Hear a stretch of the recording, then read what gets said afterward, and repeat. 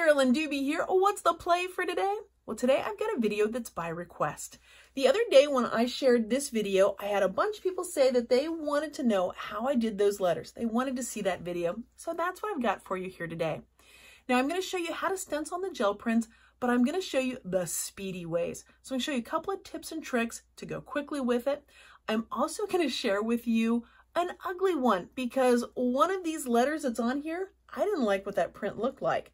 Can you guess which one it is? Well, you'll find out when you go through the video which one eh, didn't look that great when I was doing the print, but was exactly what I needed on here. Now I'm going to use gel prints because that gives me a variety of colors, patterns, that kind of thing. And don't worry if they're gel prints that you're not in love with. This is a great way to use up some of your eh, middle of the road gel prints. This gel print has a really dark blue that I love down here, and I want to stencil some letters on there. I'm going to take these from the Alpha Jumble stencil, and I'm going to put them down here, but if I want them to really stand out, I need to do them in a really light color. To make these letters even more fun, I'm going to give them some dimension, some texture by using the Mousse by Marabu. What this is, is it's a pastel paste, so it's going to have a kind of gritty texture to it.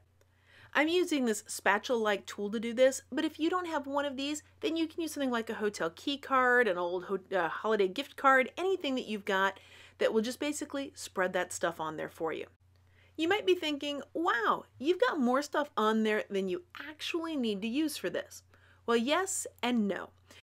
You can definitely use less, but what happens is, is your letters will be a little bit lower or not as deep. If you use more, you can see how there's a generous amount on there. It's kind of sticking up above the letters on the stencil. That's going to make the letters a little bit taller when I pull the stencil off.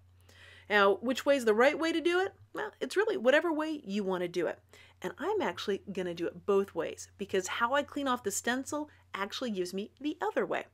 Even with all that I'm using, when I lift off the stencil, I've got nice crisp lines and that light color that really pops against the dark background. Well, let's clean out the stencil and make more letters in the process. So I've got another gel print here. This one's a nice rich orange color. And instead of putting more mousse on here, I don't need any more of it. I'm actually going to clean what's off on there, and that's what's going to fill in the letters. So these aren't going to be quite as deep or as, as textured as the first one, but this is how I get it all off of the stencil. Well, I don't mean all. I mean I get most of it off. Because you see that tray of water that's right there? That's where I want to put the stencil as soon as I'm finished with it. Because this stuff, I do not want it to dry on my stencil. It is very, very difficult to get off if it dries on there. So that's why I'm going to put it in the water as soon as I'm done. Right now what I'm doing is just using up every last little bit of that mousse so nothing gets wasted and then there's a lot less stuff to clean off in the water. Now these letters will have a little less dimension or depth to them than the first ones, but they still have a great texture to them thanks to that mousse. Now before I forget, I want to get that stencil in the water and get that mousse cleaned off of it because I do not want that stuff to dry on my stencil. For this one, I've got a print that I like, but I don't love this one. It has some fun colors on it, but again, not one that I love, so that makes it a great candidate to use with this kind of stencil. This kind of stencil is a masking stencil. So when I roll the paint on, when I lift it up, then you'll be able to see the letters. As opposed to what you just saw on the last stencil, where I was stenciling the actual letters. So this one, I'm actually stenciling around the letters. Now I could take my time and do this with a cosmetic sponge and pounce up and down, or I can take a roller. If I know I'm going to do a bunch, I prefer the roller because it's just so much faster. I'm going to use my hand to hold the stencil in place, and by the way, if you're not comfortable doing that, just use some repositionable tape and tape it down as you're doing this. Then you just roll over with the paint. Now this paint is a heavy body paint, which means it's thick. So that means it's not gonna run underneath it very easily and it's gonna give me some great, quick, crisp lines with this. As I'm using the roller, I'm also using a very small amount of pressure. I'm letting the paint on the roller do the work so that I don't have to push down because pushing down is what will run the paint underneath it and then you won't get crisp lines like this. I could stop here, but there's still space on the page, so I'm going to use this stencil again. It's not going to fit completely on there, so I'm going to choose which letters I want to put on there. Meaning things like the A's and the E's, the vowels, those are going to get used a whole lot more for me than the Y and the Z row and the numbers. Of course, now that I say that, watch, I'm going to want to have like 50 Z's for some kind of project. But usually, it's the vowels and other letters than the Y and the Z that get used the most. You might be wondering why I'm using a gel plate for my palette here to roll the paint out on. Well, that's because what I found is when I'm using a gel plate, less of the paint gets wasted. In fact, I can make sure that none of that paint on there gets wasted because when I'm all done with this, what I can do is just grab a scrap gel print, one I just want to build some more layers up on, and I can actually print off that paint right on there so it's going to build up layers and not go to waste. When I'm using a roller on a stencil, there are times when I end up with a lot of paint on that stencil. So what I will do with that is I will rinse it off. In this case, I have a tray of water right next to me, so I'm going to toss it in there. Let's talk about cleaning up the other stuff here. Now I mentioned about the gel plate that I'm just going to take a print with the paint that's on there. So I grabbed a scrap print that I had and I'm just going to let some layers build up on it. And that's going to get most of the paint off of it. Now what about the actual roller? Those rollers can actually hold a considerable amount of paint in them. So that means I like to get as many uses out of them that I can. What I found is if I put them in a plastic bag and make sure that it's nice and tight, say by putting a rubber band around it so that air can't get in there, I can leave them in here for several days without any problem whatsoever. Which means if I want to come and do another one of these tomorrow with the white, I can just grab this roller, take it out of the bag, and add some more paint to it. What about really colorful prints? What can you do with those to make the letters pop? Well, that's when you want to use a really dark color. Now I have a problem here with this one though. So the stencil that I've got, the vintage typewriter alphabet, is a 9 by 12 stencil, but my paper is 8.5 by 11. Is this an insurmountable problem? Is this the Mount Everest of letters to climb? No, not really. It just means that there's probably going to be a row of letters that's not going to be printed. I should say a half row of letters, because you can see it almost fills it, but not quite.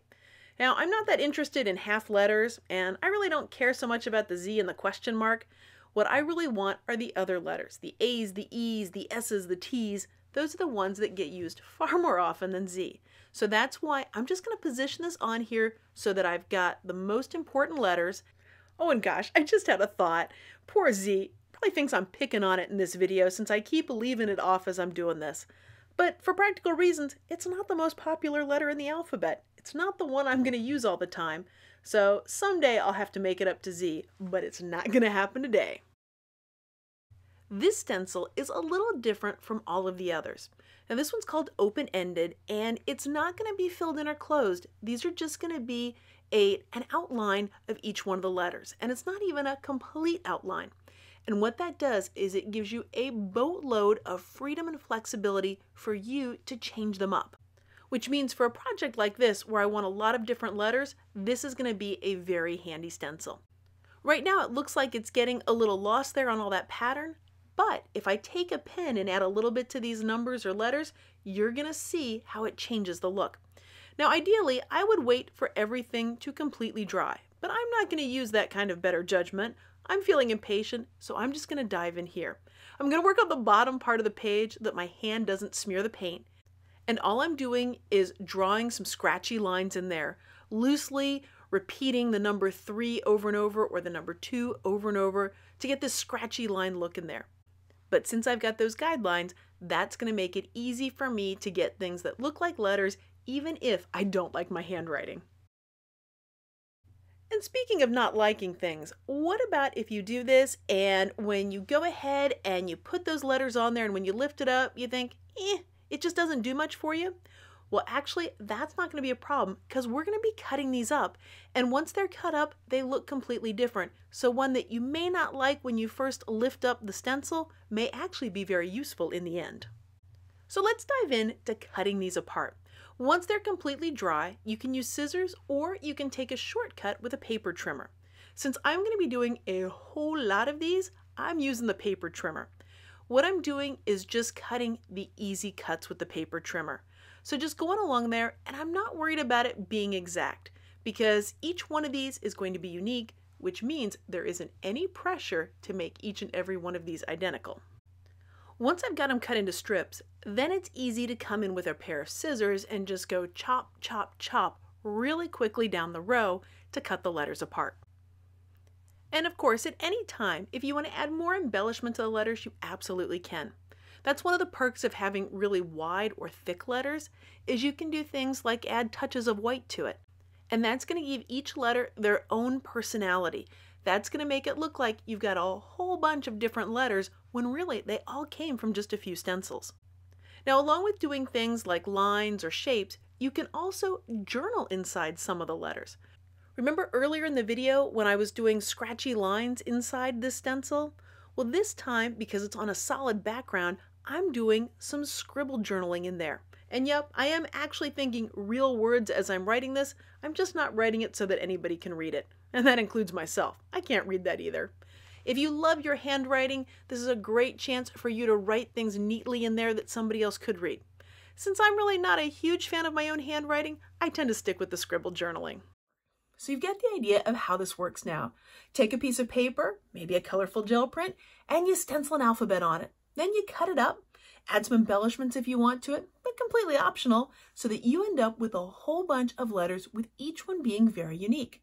And once you've got those letters, well, what do you do then? How do you keep them straight and organized? Well, I did a whole lot of these, so many that it was going to become an absolute soup of letters trying to find stuff. So I'll show you how I organize them so I can easily find a letter that I want. Each letter got its own envelope, and then it's in this box or container so that it's upright and it's easy to see what's in there.